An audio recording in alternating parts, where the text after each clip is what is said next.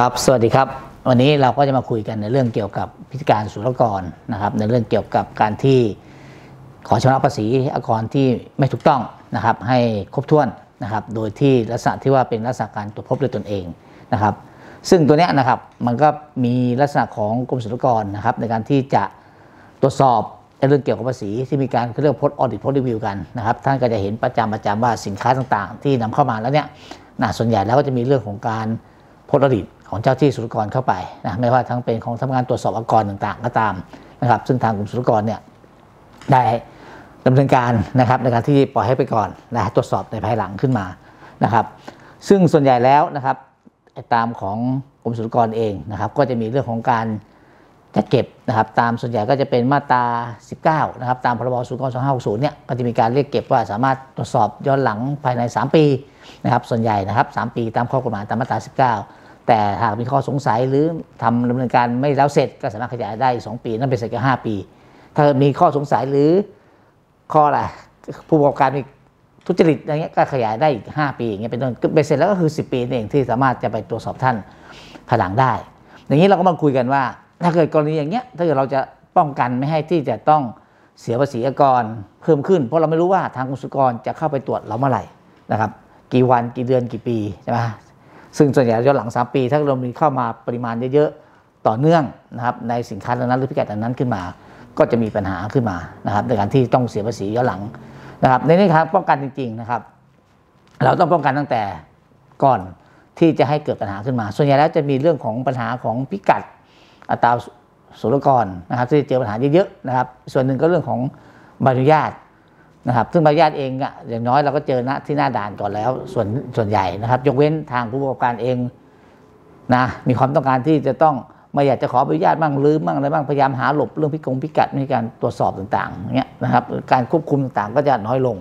นะครับเพราะเราหลุดรอดจากเจ้าที่สุกรไปได้ แต่อย่าลืมว่ามีการโพสต์ดีย้อนหลังนะครับถ้าเป็นเรื่องของใบอนุญาตเองท่านก็จะเจอปัญหาเรื่องของสินค้านะครับ ว่าต้องขออนุญาตก่อนนำเข้าขึ้นมานะครับตอนนำเข้าคุณไม่ได้มีการอนุญาต นะเมื่อมาตรวจภายหลังว่าณขณะที่ตรวจสอบณขณะที่นำเข้านั้น ท่านไม่มีใบอนุญาตท่านก็จะถูกยึดนะของท่านขายไปหมดเรียบร้อยแล้วนะครับ ไม่มีให้ยึดก็ต้องชดใช้ตามมูลค่าของสินค้านะพร้อมค่าปรับอย่างนี้เป็นต้นซึ่งมูลค่าจะสูงขึ้นอีกถ้าเรื่องใบอนุญาตแต่ส่วนใหญ่เราเจอกันจริงๆ ก็จะเรื่องของพิกัดอัตราศุลกรนะทางแก้เริ่มต้นนะก็หนึ่งเราก็ต้องตรวจสอบนะตัวสินค้าก่อนต้องรู้ทั้งลักษณะของสินค้าเราทำด้วยวัสดุอะไรใช้งานอย่างไรนะครับรายละเอียดจากผู้ประกอบการให้มากที่สุด โดยเฉพาะสินค้าที่เป็นพวกเคมีพันนะครับ ซึ่งถ้าเราไม่ได้อยู่ในวงการจริง หรือไม่มีความเชี่ยวชาญทางด้านของเคมีพันจริงก็จะมีปัญหาเรื่องของการในส่วนผสมองค์ประกอบต่างๆนะครับ ที่มาเกี่ยวข้องกับท่านนะครับ นี่คือประเด็นปัญหาที่เราต้องมาเจอพวกนี้เยอะแยะไปหมดและตัวสินค้าท่านเองส่วนใหญ่ก็ถามอะไรแล้ว หวังว่าผู้ตัวแทนท่านนะจะตอบได้รวดเร็วโดยท่านไม่ให้รายละเอียดเขาเลยใช่ไหมท่านก็บอกว่าอ้าวเคยเข้ามาแล้ว เคยเป็นอย่างนี้เคยเป็นอย่างนี้นะคาดหวังว่าจะรู้ นะครับซึ่งส่วนใหญ่แล้วนะครับตัวผลิตภัณฑ์สินค้าเนี่ยผู้ผลิตจะทราบมากกว่า หรือผู้นำเข้าจะทราบมากกว่าว่าสินค้าท่านเอาไปทำอะไรนะต้องบอกข้อเท็จจริง ต้องคุยข้อเท็จจริงกันว่าสินค้าเป็นอย่างไหนแบบอย่างไรบ้างไม่ใช่มีแต่ชื่อสินค้ามา แล้วก็ไปหาพิกัดกันนะท่านก็เจอปัญหานี้เยอะนะครับเนี่ยเมื่อท่านเจอปัญหาแล้วท่านอยากจะชำระภาษีมันถูกต้องทำไง เมื่อพบแล้วเอ้ยมันผิดจริงอย่างเงี้ยนะครับเอ้ยแต่เราไม่อยากจะเสียค่าปรับไม่อยากจะเสียเงินเพิ่มนะร้อยละหนึ่ง ต่อเดือนของภาษีนะครับของกรขาเข้า หรือร้อยหนึ่งจุดและหนึ่งจุดห้าของภาษีมูลค่าเพิ่มอย่างนี้เป็นต้น นั้นท่านต้องเจอทั้งสองภาษีแหละถ้ามีภาษีสมมติมาเกี่ยวข้องอีกก็มีค่าปรับอีกอย่างนี้เป็นต้นนะท่านก็ต้องมาดูว่าอย่างเงี้ยนะครับกรมศุลกรเองนะครับ ก็มีเรื่องของการให้ทางผู้ประกอบการตรวจพบด้วยตนเอง และทำเรื่องเสนอไปที่สำนักงานตรวจสอบอากรนะครับ ในการที่เราจะไปขอชำระภาษีก่อนนะครับ ซึ่งตัวเนี้ยนะครับท่านก็ต้องยื่นหนังสือ เข้าร่วมโครงการให้เขา ซึ่งทางกรมศุลกรเองเนี่ยก็ขยายระยะเวลาไปจนถึงปี 69 นะครับปี69เลย รวมเวลา 5 ปีนะครับ ตั้งแต่ 1 ตุลา64 เป็นต้นไปเนี่ยนะจนถึงปี 69 นะครับ 5 ปีนี้นะถ้าท่านมีปัญหารู้พบว่าเรามีความผิดพลาด ในเรื่องของการแดงพิกัดอัตราสูตรก็ไม่ถูกต้อง หรือท่านยังไม่ไปถูกเจ้าที่ไปตรวจสอบนะตรวจสอบที่บริษัทท่าน ไม่มีปัญหาเรื่องคดีต่างๆเนี่ยท่านก็สามารถเริ่มเข้าโครงการได้เลยนะครับนะท่านก็สามารถชี้แจงตามเอกสารต่างๆนะครับที่ชำระภาษีก่อนเข้ามานะสิ่งพวกนี้ท่านจะได้อะไรมันจากเขาหนึ่งก็จะได้เรื่องของการไม่มีค่าปรับนะค่าปรับเท่าไหร่นะค่าปรับตามตามของตัวละภาษีที่ขาด ถ้าขาดไม่เกินห้าหมื่นก็ปรับครึ่งหนึ่งถ้าเกินห้าหมื่นแต่ไม่เกินแสนก็ปรับเท่าหนึ่งเกินหนึ่งแสนขึ้นไปก็ปรับ สองเท่าอย่างเงี้ยเป็นต้นนะเขาเป็นสเต็ปสเต็ปไปนะครับนะเป็นสเต็ปไปนะครับในการที่จะปรับเรานะครับในการที่จะมีเงื่อนไขของการปรับนี่ต้องดูว่าใบขนแต่ละใบนั้นอยู่ช่วงเวลาไหนนะแต่ละใบขาดเท่าไหร่นะเขาก็ปรับเราเป็นแต่นั้น แต่ถ้าเมื่อท่านเข้าโครงการแล้วเนี่ยไอ้ปัญหาค่าปรับนั้นท่านจะหายไปนะครับท่านจะหายไป และส่วนหนึ่งท่านจะเสียก็คือมีค่าเงินเพิ่มนะค่าเงินเพิ่ม ถ้าเกิดท่านเข้าไปด้วยพบตนเองเนี่ยท่านก็จะ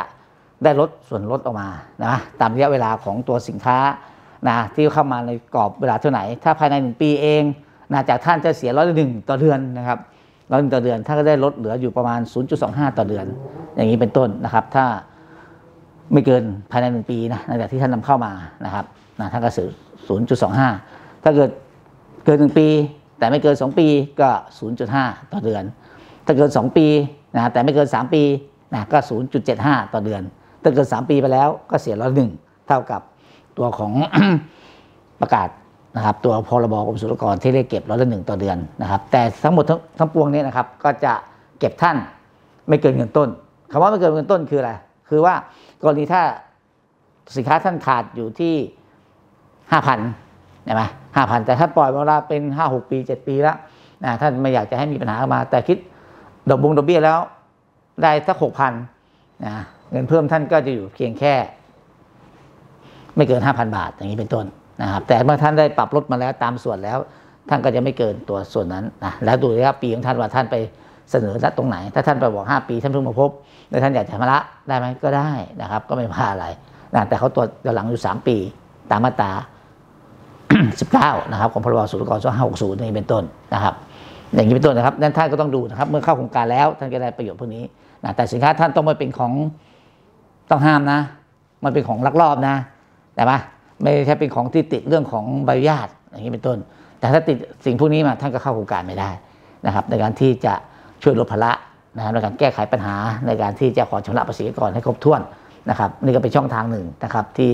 เปิดกว้างให้กับทางผู้ประกอบการสามารถเข้าไปใช้ตรงนี้ได้นะครับ อันนี้ก็เป็นสาระดีๆนะครับ ในการที่จะให้ท่านมีมีองค์ความรู้นะครับ แล้วก็มี การจัดเตรียมการตรวจสอบตัวเองนะครับในการที่จะ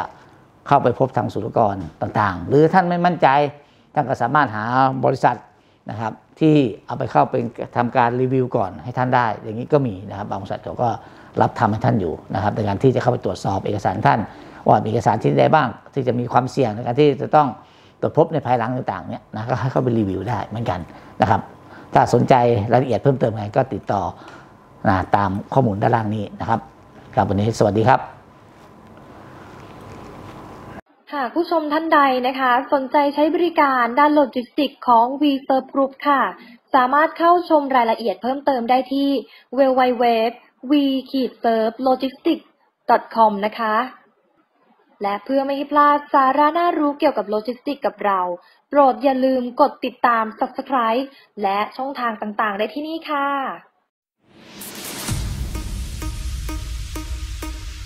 อย่าลืมกดติดตาม Subscribe กดกระดิ่งไลค์เพื่อไม่ให้พลาดสาระน่ารู้เกี่ยวกับโลจิสติกของเราได้ที่นี่ v Serve Logistics Skill Channel ค่ะ